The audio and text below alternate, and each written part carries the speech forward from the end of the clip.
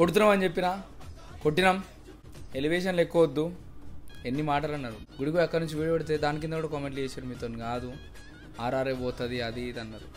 ఇవన్నీ పక్కకు పెడితే డే వన్ నుండి చూస్తున్నా ఎన్ని ఎన్ని మాటలు అన్నారు నాకు మీరు అన్న ఒక్క మాట కూడా బాధ కాదు. ఎందుకు బాధ అవుతుంది తెలుసా నాకు? ఎవడో పక్క స్టేట్ వచ్చంటే నాకేం అనిపించకపోతుండే.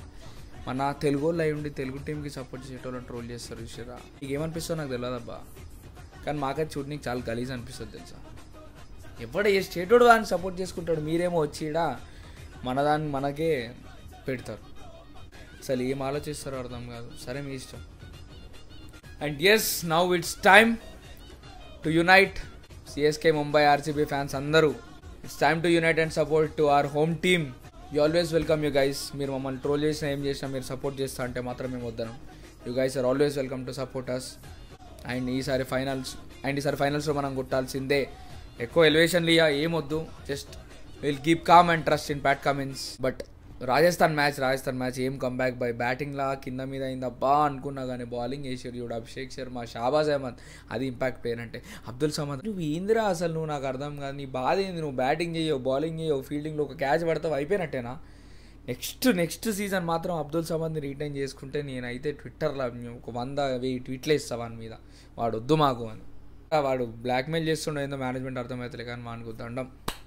Rahul Tripathi what and intern man ఏం బ్యాటింగ్ ఏం ఫీల్డింగ్ ఎక్కడ చూసినా రాహుల్ త్రిపాఠి కనిపించిండు. అసలు ఆసమ్ ఆసమ్ ఏం కంబ్యాక్ ఇచ్చిండు? You are you are freaking awesome this season Markram it's fine ఒక మ్యాచ్ uh, చాలా గ్యాప్ వచ్చింది కదా it's okay but ఫీల్డింగ్లో he has done his part so ఫైనల్స్లో Markram or Phillips వీళ్ళిద్దరిలో ఒకరు ఉంటే మాత్రం మ్యాచ్ తీసుకొస్తారు పక్కా. ఇది గ్యారంటీ నేను ఇస్తా గ్యారంటీ ఇది.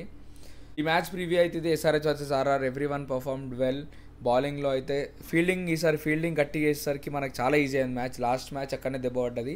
సో అది పాయింట్కి వస్తే SRH versus KKR the finals last year table bottom tenth position నుండి ఒకడే ఒకడు వచ్చిండు.